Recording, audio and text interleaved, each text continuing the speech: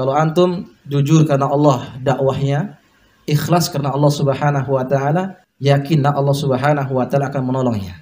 Bukankah kita sering mendengar hadis, ihfadillaha yahfadka. Jagalah Allah, maka Allah akan menjagamu.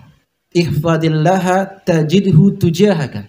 Jagalah Allah niscaya Allah akan engkau akan mendapatinya di hadapanmu. Apa yang dimaksud dengan menjaga Allah? Apakah menjaga zatnya? Yang dimaksud dengan menjaga Allah bukan berarti menjaga zat Allah karena Allah tidak butuh dengan penjagaan. Allah Maha Kuasa.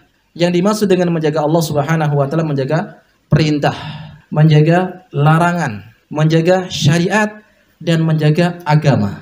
Menjaga perintah Allah Subhanahu wa taala adalah dengan mengerjakan apa-apa yang diperintahkan oleh Allah Subhanahu wa taala. Dan perintah yang paling agung yang harus kita tunaikan adalah perintah untuk bertauhid, menyembah kepada Allah Subhanahu wa taala saja, berdoa hanya kepada Allah, menyerahkan hidup kita hanya kepada Allah Subhanahu wa taala saja, memohon balasan dari Allah.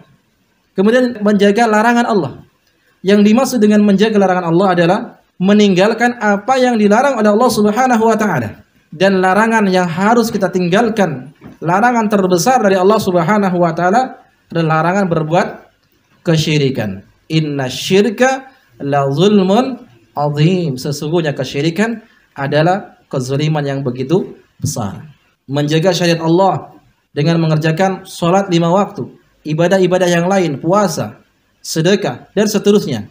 Dan menjaga agama Allah subhanahu wa ta'ala dengan mempelajarinya.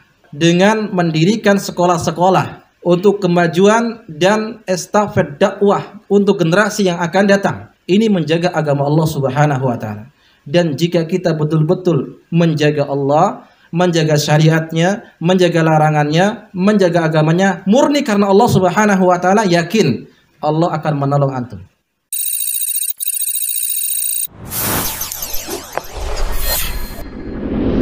Bengkalis Mengaji Media Dakwah Sunnah